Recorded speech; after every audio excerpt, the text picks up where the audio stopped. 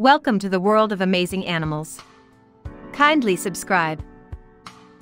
Elephant shrews, also called jumping shrews or sengis, are small insectivorous mammals native to Africa. Their traditional common English name elephant shrew comes from a perceived resemblance between their long noses and the trunk of an elephant and their superficial similarity with shrews. They are widely distributed across the southern part of Africa, and although common nowhere, can be found in almost any type of habitat, from the Namib Desert to boulder-strewn outcrops in South Africa to thick forest. One species, the North African elephant shrew, remains in the semi-arid, mountainous country in the far northwest of the continent. The creature is one of the fastest small mammals.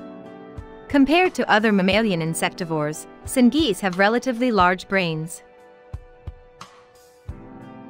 Thank you for watching till the end. Let us protect our wildlife, just like our pets.